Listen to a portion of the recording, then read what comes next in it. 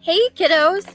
This is the story Miss Rumphius. It's by Barbara Cooney, and I always read this story to my students on the last day of school because I think it has a really important message and I love the pictures as well. So I hope you like it. The Lupin lady lives in a small house overlooking the sea. In between the rocks around her house grow blue and purple and rose colored flowers. The Lupin lady is little and old, but she has not always been this way. I know. She is my great aunt, and she told me so. Once upon a time, she was a little girl named Alice, who lived in a city by the sea. From the front stoop, she could see the wharves and the bristling masts of the tall ship. Many years ago, her grandfather had come to America on a large sailing ship. Now he worked in a shop at the bottom of the house, making figureheads for the prows of ships and carving Indians out of wood to put in front of the cigar stores. For Alice's grandfather was an artist. He painted pictures, too, of sailing ships and places across the sea. When he was very busy, Alice helped him to paint in the skies.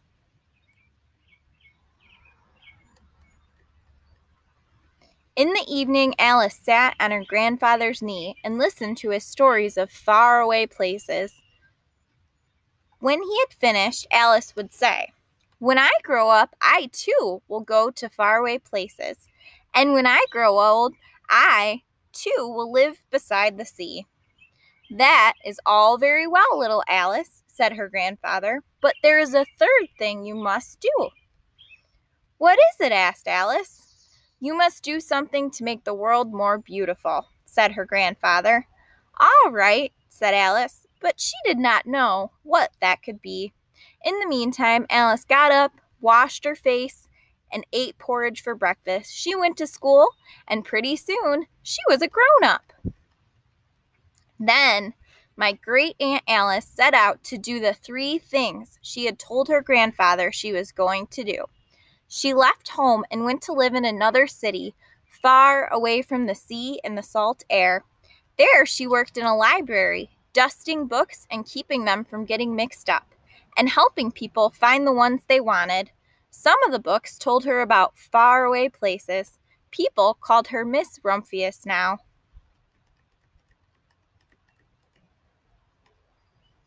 Sometimes she went to the conservatory in the middle of the park.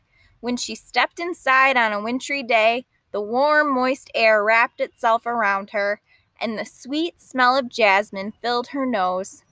This is almost like a tropical isle, said Miss Rumphius, but not quite.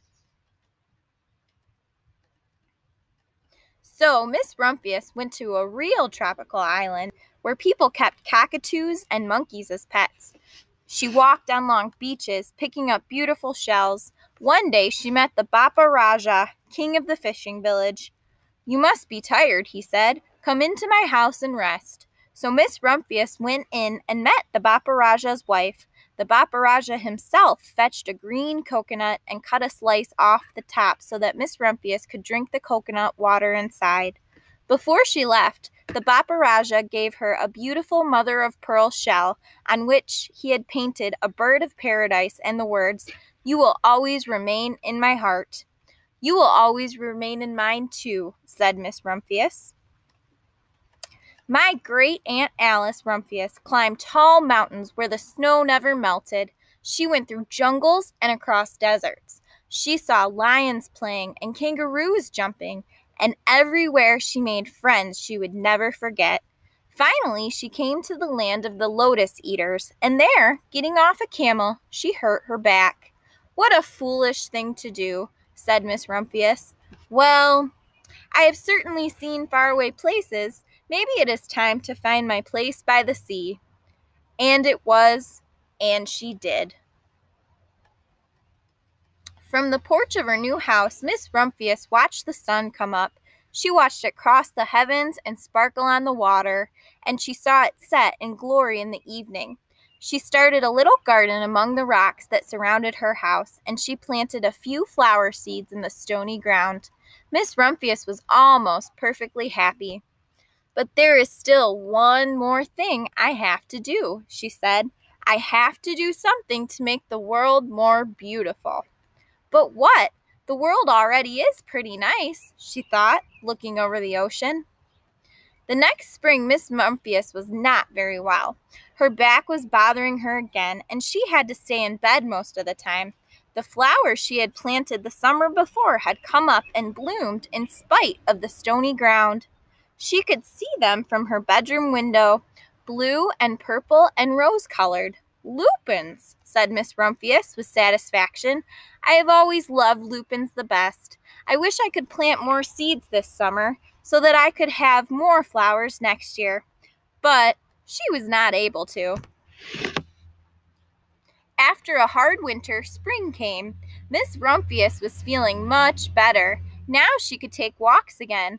One afternoon, she started to go up and over the hill where she had not been in a long time. I don't believe my eyes, she cried when she got to the top for there on the other side of the hill was a large patch of blue and purple and rose colored lupins. It was the wind, she said as she knelt in delight.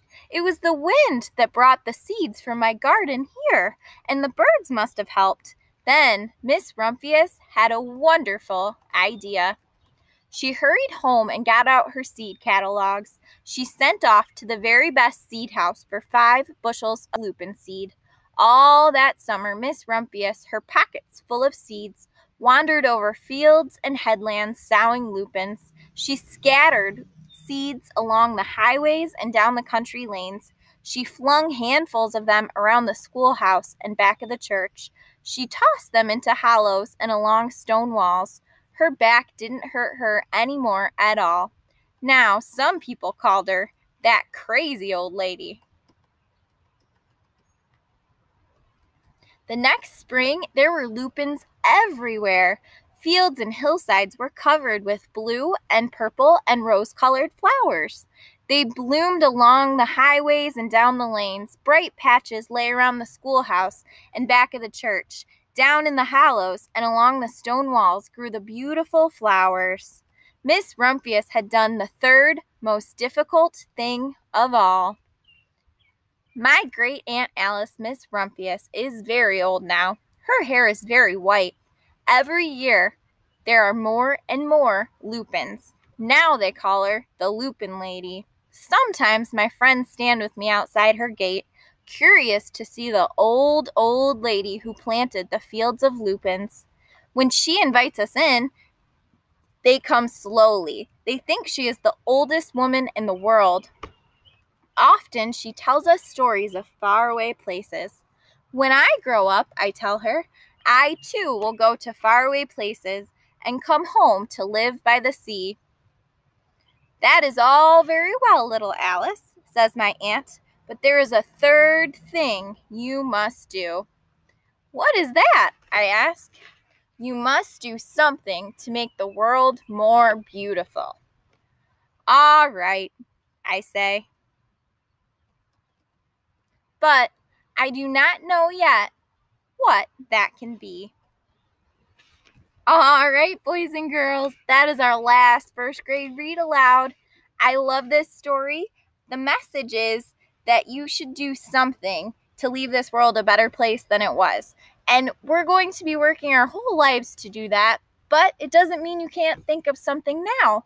So you don't have to make the world more beautiful by planting flowers. You could always just make the world more beautiful by having a smile on your face when you see people, by being kind, by showing other people how to be. You are great people already. Don't let that change. Don't let things bring you down because everybody needs a positive light, okay? So I hope you enjoyed this book. I so enjoyed first grade with you, and I hope you have a wonderful summer. Bye, kiddos.